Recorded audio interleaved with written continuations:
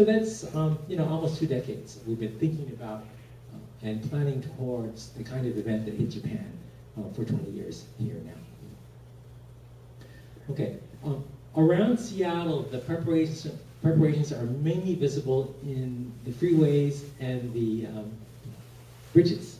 Um, I don't know how many of you have noticed the metal jackets going up on all the, I think Seattle's pretty much done now, metal jackets on all the uprights supporting the freeways? As well as you look at the, the new uh, on-ramps and off-ramps going into the stadiums, as well as uh, this, the, all the new work that's been done along um, Spokane Street, the Spokane Street viaduct leading to West Seattle. All this stuff is just really beefy now compared to the stuff that was built 10, 20, 30 years ago.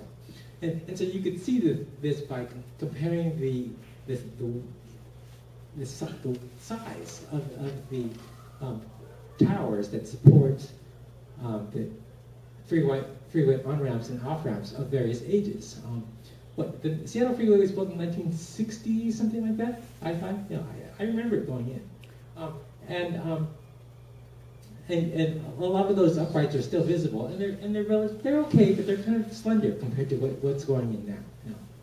now. Um, uh, if can we next next slide? Yes. Okay. If we go out to the coast, uh, let's see. Okay. Um, the the wave modeled wave that we saw saw um, earlier um, has been run on run up onto the shore. And so, for example, here's Grays Harbor on the outer Washington coast.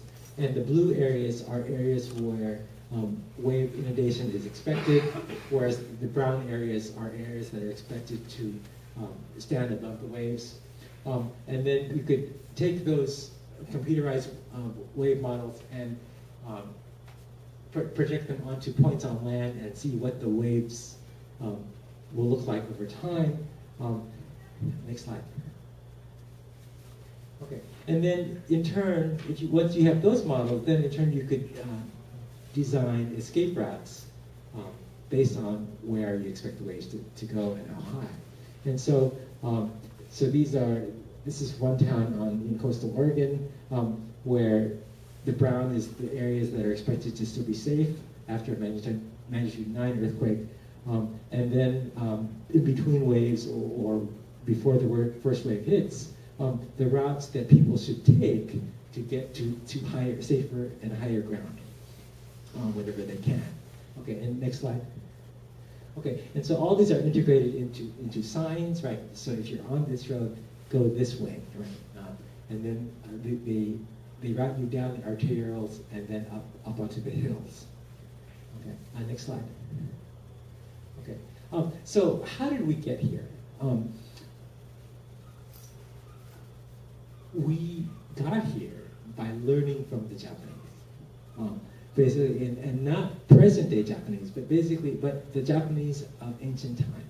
Um, the, we adopted a more open, open-minded approach.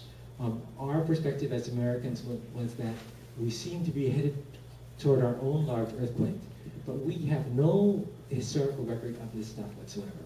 And, and because we know nothing, we are willing to take knowledge from wherever it is, um, or whatever field it is, because we need all the help we can get. Um, and so it was just a different mindset that we started with. And one of the one of the um, key pieces of all of this is the rec written records of the of the samurai uh, who ran Japan uh, 300 years ago. And so um, today I'll be sharing. Um, well, so along the Japanese coast, there are six known documents that still survive describing a, a huge tsunami that hit Japan about 300 years ago. Okay, and they extend from uh, northern Japan, um, the kind of the landscape that we hear about today. Um, um, uh, for example, Sendai is Sendai is right there where, where the uh, Honshu coast makes a right turn, uh, 90 degree angle turn there, um, and um, maybe about halfway down there is uh, the Fukushima area. Okay, so that's, that's the coast that we're always reading about in the paper today. Um, and uh, the written records of the samurai about, about this tsunami event um, extend down to uh, Wakayama-ken, um, the, the big uh, peninsula um, at the bottom of the slide there. Yes. So, um, a huge tsunami. Okay, uh, next slide, please. Okay, so these are what the original documents look like.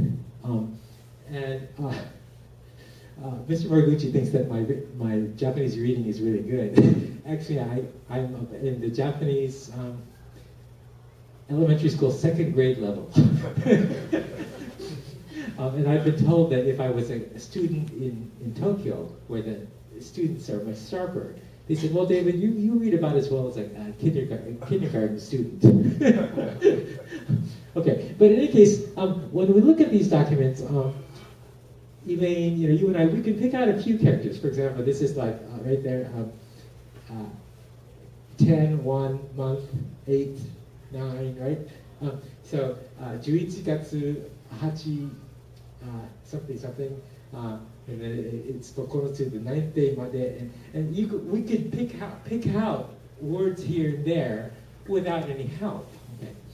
Um, but it helps a lot when you could um, enlist the help of of specialists, um, scholars. And, and, so these are documents that are much like reading um, raw Shakespearean English today, um, you know, from the original documents. It's, it's tough to, to read, uh, but there are specialists uh, who read those things every day. Um, and, and similarly, there are specialists in Japan who read uh, Japanese historical documents every day. And so they could just read this stuff, you know, just literally split to us. Um, and so, let's see, next slide. And so, uh, you know, we Americans and, and translators um, are just madly scribbling down what they're what they are telling us. Yes. Okay. Yes. Okay. Okay. Later. Yes. Yes. Okay. Um, and so we can take that first um, same uh, document that I, we just looked at and, and spread the, the, lines out a little bit, and then write in the uh, romaji or the um, reading in, in Western characters, um, as well as uh, English translations. Okay. So um, it's kind of hard to read um, because uh, Japanese sentences are kind of backwards of English, um, but they read something like this. Uh, Genroku 12th year, 11th month, 8th to 9th day, high tide on the coast swept away houses here and there. At, Ishi, there was salt water up to Kubota Crossing. At Nori Nowaki, it reached up to Inari no Shita, and so villagers panicked. At the time, the fire broke out at the small port of Kumagasaki because of the high waves. However, an earthquake did not occur. Number of houses, about 21. Okay, so this is just um, one example of the six documents that, that we looked at. Um, and I picked it in part to show you, first of all, because it's short. And so just to give you, give you an idea of, the detail that is in these documents. Um, and the second thing is that it specifically mentions that there was no earthquake. Okay, uh, next slide. Okay, so that was, uh, Okay. Okay, that was Tsugaru Ishi, which is the town, the second town in the far north there. Okay, and from there we're going to swing to the to sort of south center of Japan, Miho, um, just south of Mount Fuji. Okay, next slide. Okay, okay so uh, there's Mount Fuji. Um, does anyone know the road that's leading across the middle of the picture there? Uh, and these these are period diagrams. These are uh, this is the, the Genroku period of Japan, the sort of time of the flowering of Japanese, uh, the, the, Japanese arts. Is. Okay. Does anybody know this road? Okay, good. Okay, the Tokaido, right. Okay, so the Tokaido is the famous road that leads from, from Edo, or the uh, predecessor of Tokyo, um, to Kyoto, right? And all the, many of the uh, samurai movies that we all watch today are set among travelers traveling this road. Um, and so we'll next look at the document that comes from Miho, which is um, the village on the sand spit um, there. Uh, Miho has historical significance to Japanese Americans.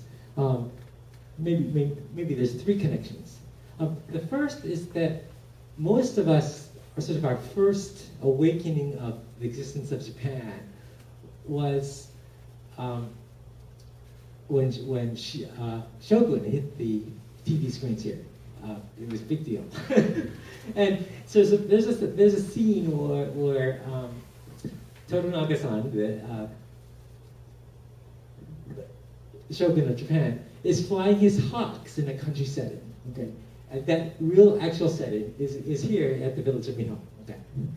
Um, the second reason um, Miho is important historically and culturally is that there's a, um, a Noh play where an angel comes down from the heavens and you know she's here and decides that she wants to take off her robe and, and wash herself. And, and so she you know she hangs her robe and um, and she's washing herself in the bay.